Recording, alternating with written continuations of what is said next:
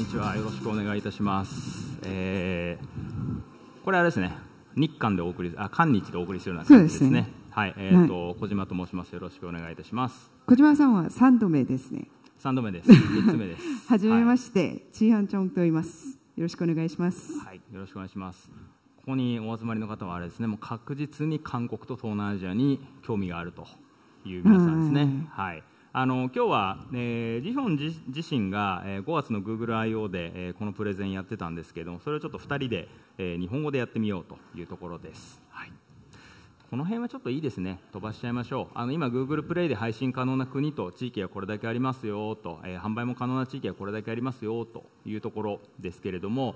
今日のテーマ、えーまあ、日本も含めてですけど日本、韓国、えー香港、台湾東南アジアここからの売り上げがもう実は世界の50%なんですね、そうですね。はい、半分以上です。半分以上、まあ、うちのデータじゃないんですけどね、アッパーニーさんのやつなんですけど。はい、なので、まあ、あの僕ら血、血のりもあるじゃないですか、やっぱり近いっていうところがあるんで、そこでこう、まあ、どう出していくかっていうところで、30分でちょっと全部申し上げるのは無理なんですけれども、少しでも何かヒントになるようななるようなところ、えーお話しできればと思っています。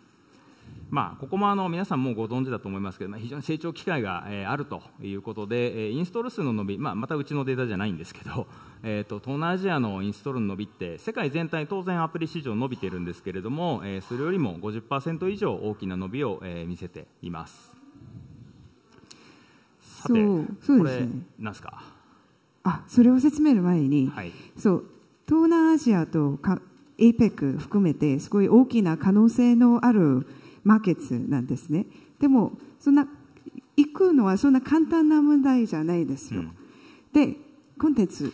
の方を見ると、これは韓国のトップチャートです。はいエヴァさん、なんか知ってるゲームありますかワンピースワンピース。はいもう日本とかすと両方あるゲームもありますかね。あんまりそんな海外のゲームも。まあ、一応あそこにクラッシュ・オブ・クランがあああそうですったりてかネットマーブル超強いですね強いです。はいで、そして上に見ると髪の毛の長い女性のキャラクターってすごい多い多いじゃないですか。はいじゃじゃあ後で香港です。香港は髪の毛の長い女性はあんまりいない。急に漢字が増えた気がしますねそうですよ。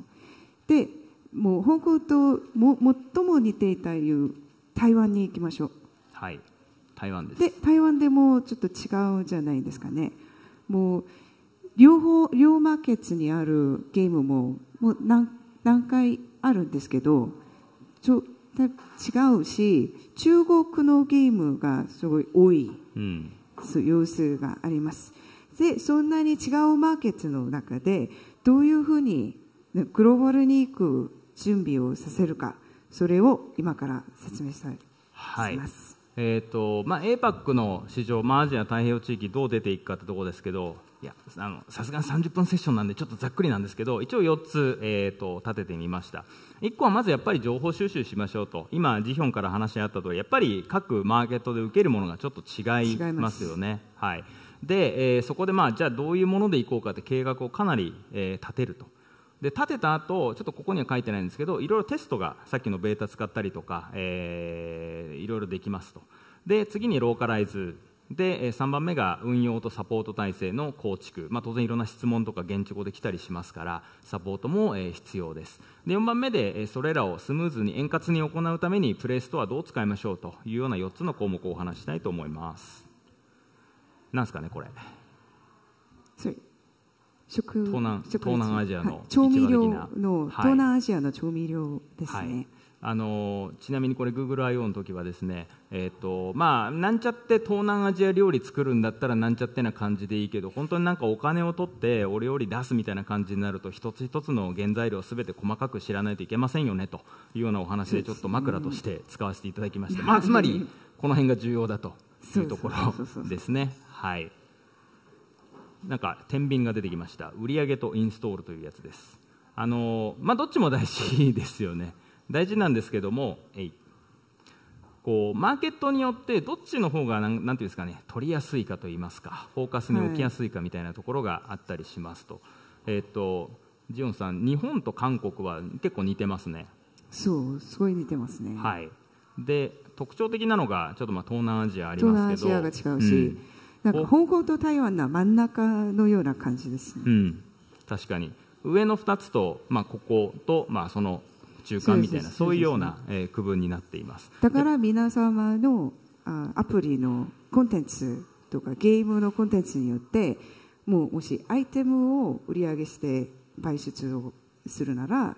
韓国ぜひ来てください。でもうインストールベースで高校であの高校広告モデルであそうそう行くんであれば。インストールいいし、でとコストもユーザーエクジションのコストも低いです。ね、うん、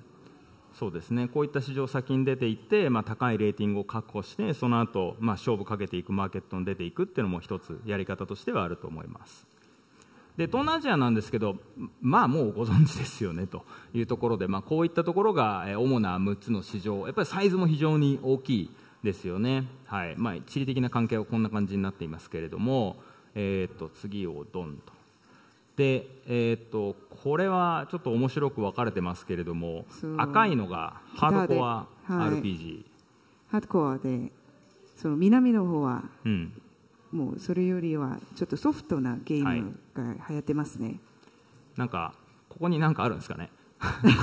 ここに ちょっと上に。はい、あるのかもしれませんけど、まあ、さっきのあのなんなんていうんですかね？インストールベースが強いですね東南アジアとか、えーっていうところもこの辺うまく、えーなんと言いますかあの国地域によっての差として現れてるんじゃないかなというふうに思います。なので下の方でこうあのハードコア RPG で開拓していくっていうのももちろんチャレンジの一つとしてあるとは思うんですけれども、まあ、上でやるよりはもしかしたら、えー難しいかもしれない。もちろん上は上でレッドオーシャンになってるんで文字通りあの色通りそこはそこで難しさがあるかと思いますもう一個、あのーいわゆるメッセージングアプリ、まあ、各国で、あのーナンバーワンになっているもののこれ文字通り色ですね。そうですね。はい、カカオ黄色ですもんね、はい、カカオははい。がどんな風になってるかというと、まあ、こんな風に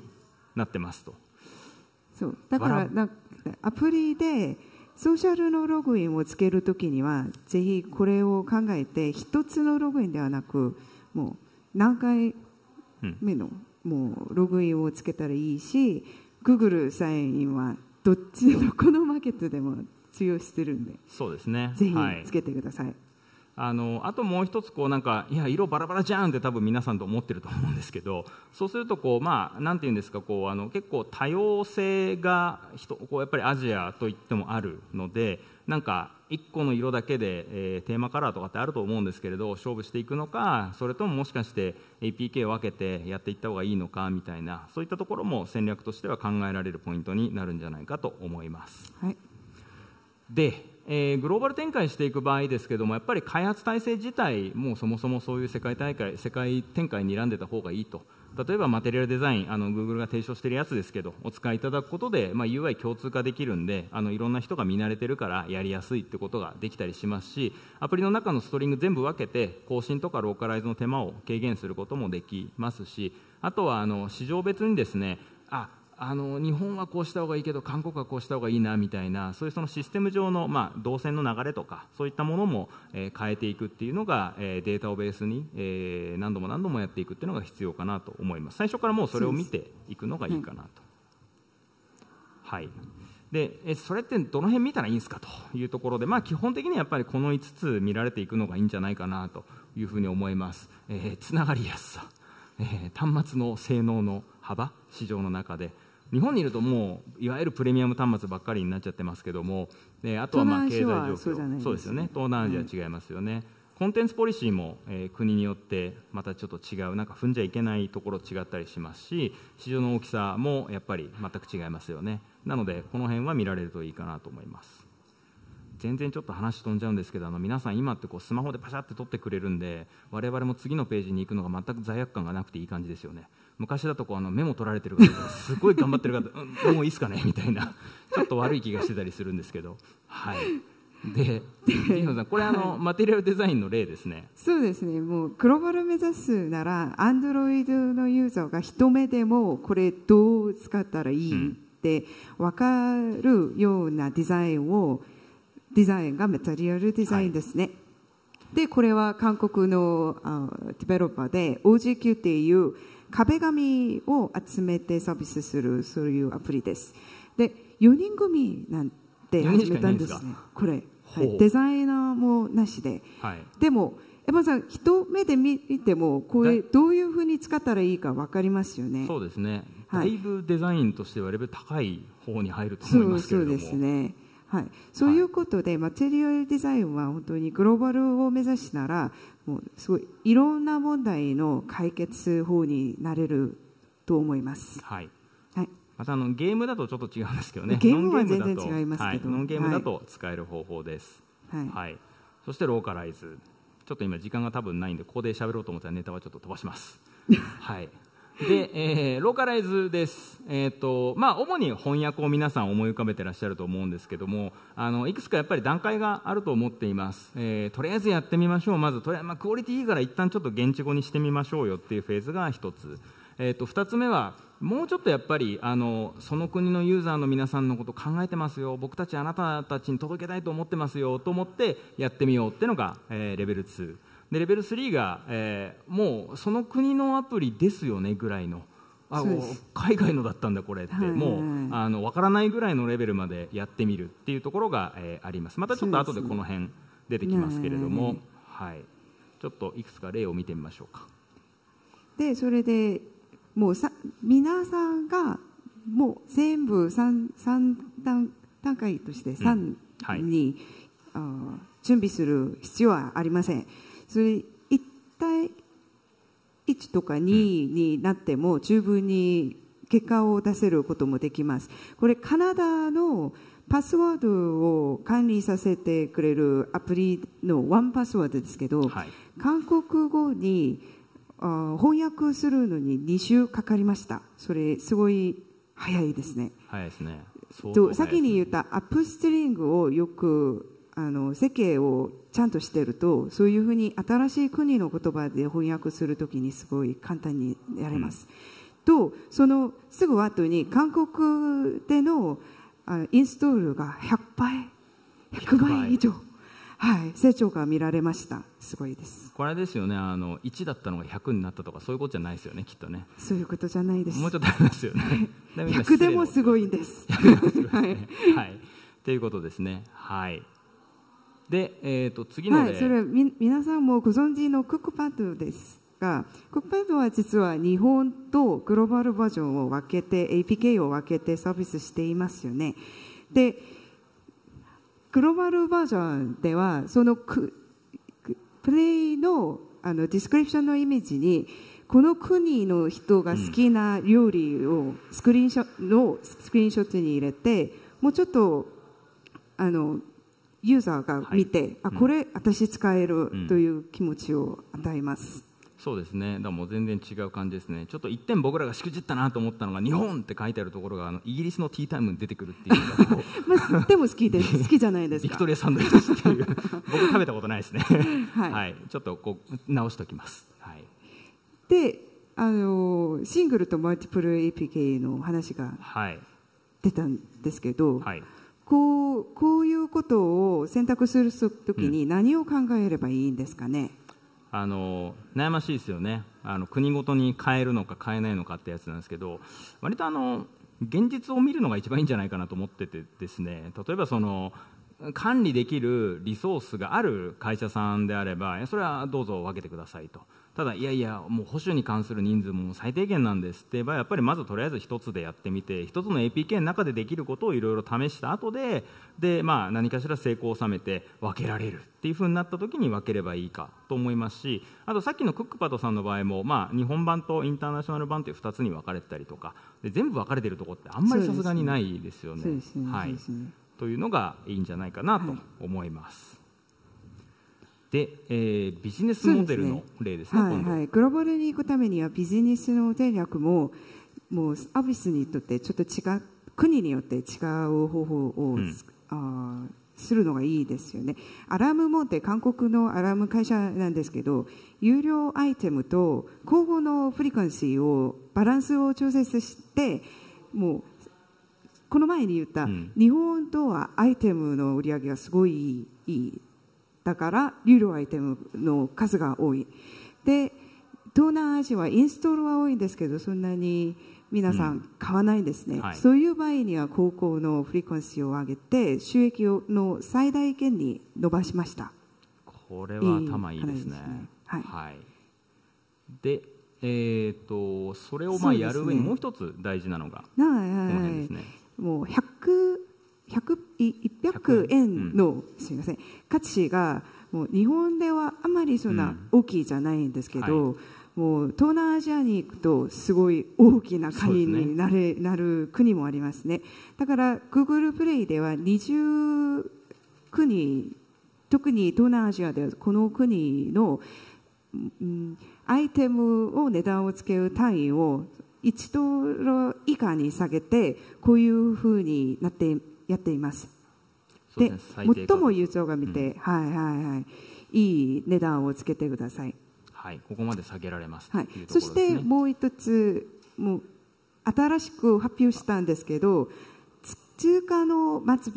尾をうん。切り上げするか切り下はげしろ自動的にされます、はい。うんこのあー6月からですね、確かに。はい、ぜひ使えてはい、国によって結構上げたり下げたりっていうのがこうちなんていうんですかね。好みが違うのでそこに対応するというところです、まあ、ちょっと1個前のセッションともかぶってる話ですけども、さてそこまでやると、まあ、この荒波に出ていく準備もそろそろ整ったかなというところで今度はまあ運用の話です。はい。ねえー、とゲーム性違います。日本と韓国の違います。国違いによって違います。ゲーム性も違うし、はい。好みユーザーの好みも、もうただゲームじゃなくてアプリにとしても好みも違います、例えば韓国ではもう協力のプレイと1対1のプレイ全部一つのゲームの中にあるけど韓国のプレイヤーは1対1のうん PVP がそうですね最も、はい、好きなんですね、でも日本の場合はもう CM はい。カマラシャル、CM でももうちょっと祭りっぽくするのも多いし、あのはいこうこれこのこのゲームのあの、えー、とコンっていうゲームなんですけど CM はこう一人の男の人がこう戦ってヒーロー一一人が。やつで全で部。モンストは、はい。あのまあ、重心祭の CM 皆さん覚えてらっしゃる方もいると思うんですけどあのこうせいやせいやせいやってみんなでやっていくっていうやつですね。はい。はい、であのこのか国に壁ドンです。壁ドンです。はい。今この国に人気のある言葉とかものを使ってはい。アイテムにしたらすごいいいです、これは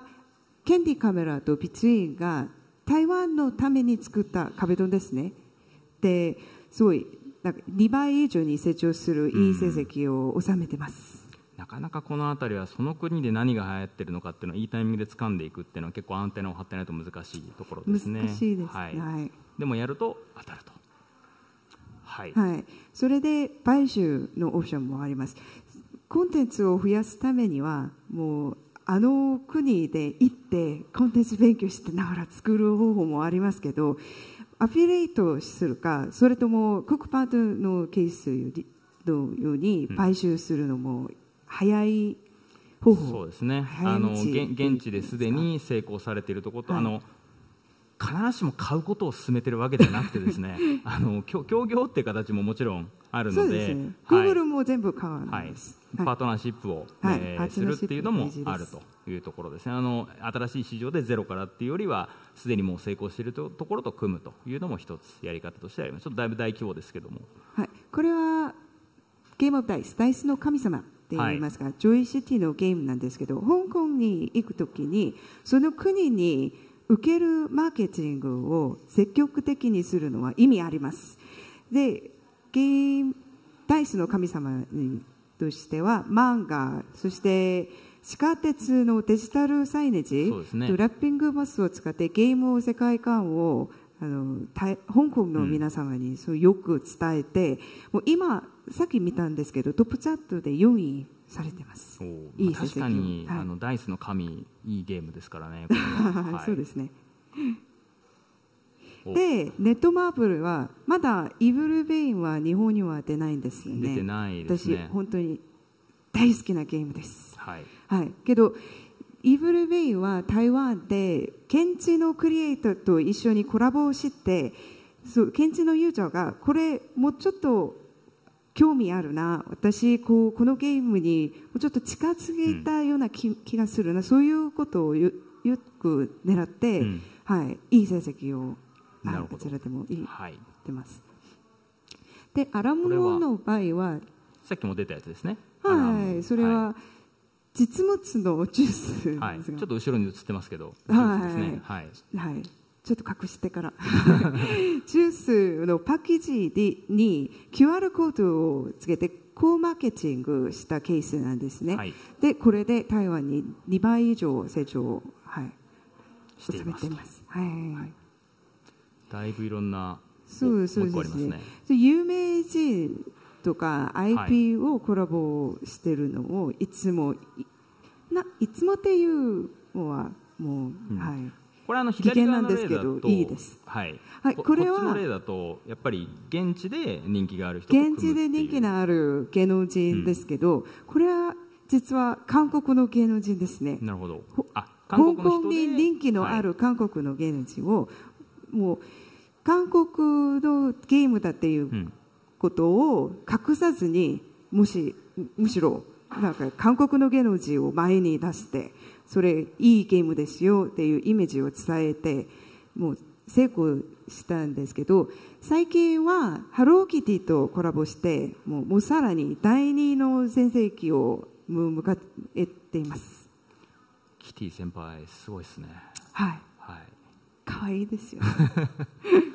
でこのこの映像はちょっと説明しながらいきましょう。はい、あの最初東南アジアでしたよねはい。で次韓国でしたよね。はい。でこれは本で。これ日本ってことですね、はい、これちょっと台湾。これあのなんかみんなのこう希望みんなが空にのグローバルに行く。登っていくっていうはそういうことですね。Google プレイで一緒に叶えさせたい。はい、という。という思いがあるそうです。はい。はい。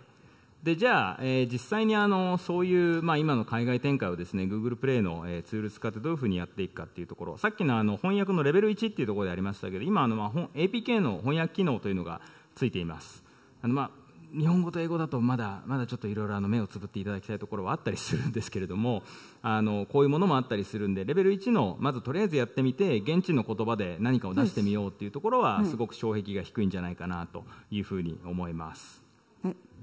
で、えーユーザー分析ですね、これもあの前の前のセッションでもちょっと出てきたんですけど、今だとあのどういう経路でどういう国から人が入ってきているのか、でえーそこがあのうまく見えるようになってますんで、ストアには来てるんだけれども、ダウンロードしてくれない、じゃあなんかちょっとストアの中、えーいじってみた方がいいんじゃないだろうか、みたいなものを、えー国別に、えー見ていくことが、えできます。ここで今、市場別ってありますけど、例えば今ここであのタイ、ポーランド、インドネシアが、えーの人たちが、えーどれくらいのいいはい、いいスコアをつけているのかとか、で、えー、とこれきな、どのアプリかちょっと分かんないんですけど、あの厳しいスコアつけてるのは、えーアメリカ、はい。えーコロンビア、ゆ ウクライナ。はい。なかなかグローバルなグローバルものですけど、あのーはい。結構日本下によく出てきがちな